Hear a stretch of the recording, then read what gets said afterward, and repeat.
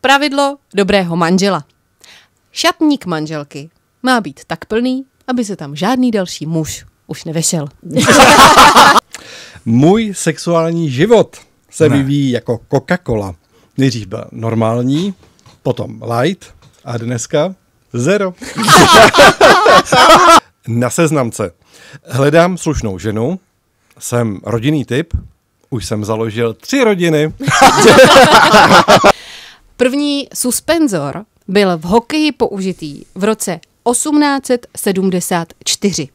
První helma v roce 1974. Trvalo to 100 let, než mužům došlo, že i mozek je důležitý. Byla jsem u doktora a ten mi řekl, že jsem paranoidní.